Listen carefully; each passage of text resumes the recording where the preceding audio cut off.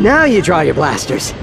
Twenty years we've waited to be reunited with the Nethers. I expected this from the Polaris Defense Force, not from you. You should understand!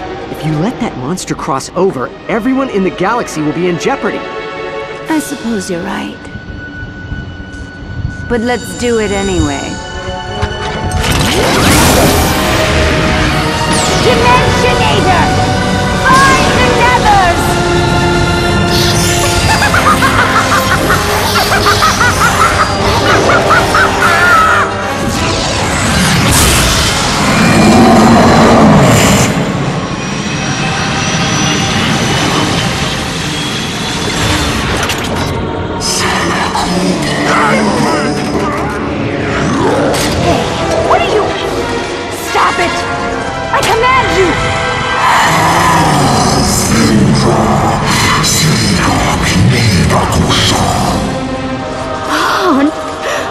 But you're supposed to be my friend!